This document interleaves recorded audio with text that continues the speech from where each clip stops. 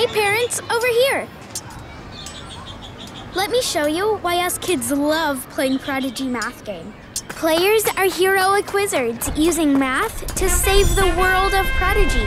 Uh-oh, one sec. I just gotta battle this monster.